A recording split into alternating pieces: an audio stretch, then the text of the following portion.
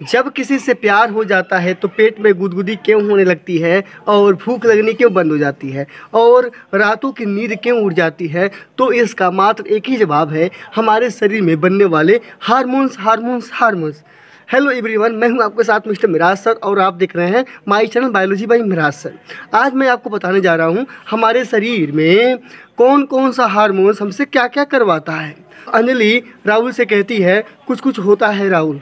राहुल समझ लेता अगर उसके भी हार्मोन्स अंजलि की तरह रिएक्ट कर रहे होते, लेकिन हम मूवी की बात करें तो राहुल के भी हार्मोन्स एक्टिव हो जाते हैं। लेकिन यह हार्मोन्स का चक्कर है तो चलिए समझ लेते हैं प्यार वाले हार्मोन्स को। जब हम किसी के तरफ़ एट्रैक्टिव फील करते हैं तो हमारे शरीर में डोपामीन की मात्रा बढ़ने लगती है। इसके कारण दिल जो होता है, वह धक धक करने लगता है। और जब हम रिलेशनशिप में होते हैं तो सेरोटोनिन का लेवल बढ़ जाता है हमारे ब्लड में और हमें अच्छा महसूस होने लगता है। और जब हम किसी को प्यार से छूते हैं तो ऑक्सीटोसिन निकलने लगता है, इसका भी लेवल बढ़ जाता है हमारे खून में और यह दो लोगों के बीच विश्वास कायम करने में बड़ी भूमिका निभाता है। और जब ब्रेकअप हो जाता है तो सिर्फ़ बुरे ख्याल आते हैं। क्योंकि तब डोपामिन और ऑक्सीटोसिन दोनों की ही मात्रा घटने लगती है, खुशी का एहसास भी कम होने लगता है। और उदास होकर गाना गाने लगते हैं, तुझे याद न मेरी आई, किसी से अब क्या कहना? हमारी खुशी, हमारा चिचिड़ापन हमारा गुस्सा, इस सब की वजह है हमारे शरीर में बनने वाले हार्मोन्स। यहाँ तक कि भी अगर हम गाड़ी ड्राइव कर रहे होते हैं, अचानक से कोई बंदा सामने आ जाता है और हम ब्रेक मार देते हैं, उस कंडीशन में वो बच जाता है तो हमें बहुत गुस्सा आता है कि वो सामने क्यों आया।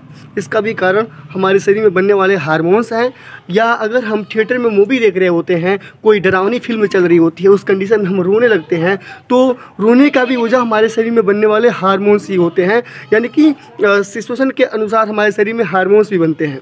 जैसे कि अगर हम बात करें, अगर कुछ लोग किसी कारण अगर छत पे चढ़े हुए हैं, पैर और फिसल गया या किसी कारण वह छत से लटक जाते हैं बाहर के साइड में, या चट्टानों पे या पहाड़ों पे लोग चढ़ रहे होते हैं उस कंडीशन में पैर फिसल जाता है और वह गिरते गिरते अपने हाथ से रोक कर हम कह सकते हैं कि पहाड़ों पर लटक जाते हैं। उस कंडीशन में वे बहुत ज़्यादा डरे होते हैं और उस कंडीशन में होता क्या है कि उनके शरीर का जो किडनी है, हम कह सकते हैं जो गुर्दा है, उसके ऊपर एक ग्रंथि पाई जाती है, जिसका नाम है एडरेलिन ग्रंथि। ठीक है, यह क्या करता है, जब हमें डर महसूस होता है तो उस कंडीशन में एडरेलिन हार्मोन्स रिलीज़ करता है, जिसके चलते हमारे शरीर के अंदर सुपर पावर आता है और जो बंदा लटका होता है छत से या पहाड़ों पे, वह कोशिश करके फिर छत पे या पहाड़ों पर चढ़ जाता है, अपना बचाव कर लेता है।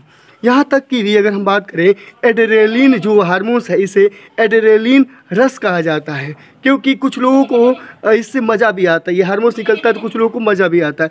डर लगता है बट मज़ा आता है। जैसे कि जो लोग एडवेंचर स्पोर्ट करते हैं या बंजी जंपिंग करते हैं या स्काई ड्राइविंग करते हैं, इसमें देखा गया है, लोगों को मज़ा भी आता है या खतरनाक खेल में या खतरनाक जो भी काम हम कह सकते हैं, उसमें लोगों को मज़ा आता है।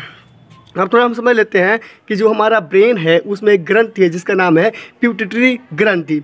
इसका काम होता है हार्मोन्स को रेगुलेट करना। कुल मिला जुला कर देखा जाए तो हारमोन्स हमारे तन को मन से जोड़ने का काम करते हैं।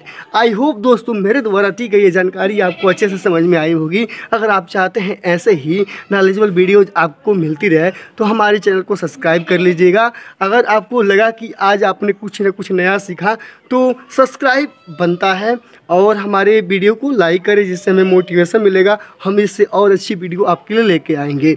और इस वीडियो को शेयर करें दोस्तों। दोस्तों आज के लिए बस इतना ही। धन्यवाद आप सबका।